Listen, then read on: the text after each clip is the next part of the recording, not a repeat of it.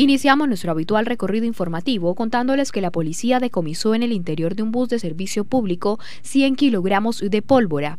El vehículo transportaba pasajeros cuando se produjo el decomiso. Personal de la seccional de tránsito encuentra en un bus que cubría la ruta San Gil Bucaramanga en la zona de carga una caja en su interior 100 kilogramos de pólvora de diferente clase, volcanes, pitos y otros elementos, transportados sin ningún tipo de cumplimiento, requisitos de seguridad. Dentro de ese viaje, cubriendo la ruta, puede darse un accidente, un volcamiento, un golpe por detrás que posiblemente pueda desencadenar una, una situación de calamidad. Entonces, rogamos a todas las personas que trabajan en el sector de transporte estén muy pendientes de la comercialización de pólvora en esta época.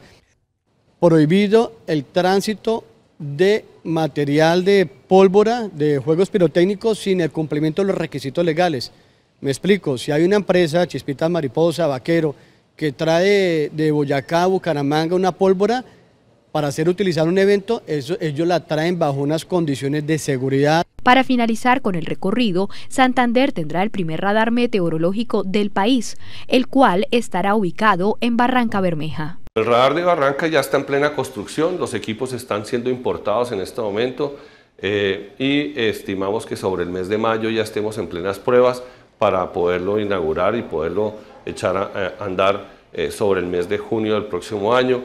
Reitero, todas las inversiones que estamos haciendo en Santander se estiman poderlas terminar hacia finales del año 2018 eh, y poder tener mayor capacidad de respuesta en términos de información para todos los santanderianos. Es el primer radar meteorológico que va a tener el IDEAN operando en Colombia. De hecho, tenemos radares por parte de la Aeronáutica Civil que están operando para navegación aérea, pero el primer radar meteorológico que va a tener Colombia va a caer en Barrancarmeja. Y esto es una decisión muy importante, eh, toda vez que nos va a permitir a nosotros hacer monitoreo sobre Magdalena Medio, sobre todos los departamentos, municipios de Santander, de esta región, que nos parecen muy importantes, y empezar a ayudar en la prevención y empezar a construir la capacidad de respuesta, la cultura del dato, la cultura de la información, pero por sobre todo la cultura de la prevención, que es lo que nosotros queremos como instituto.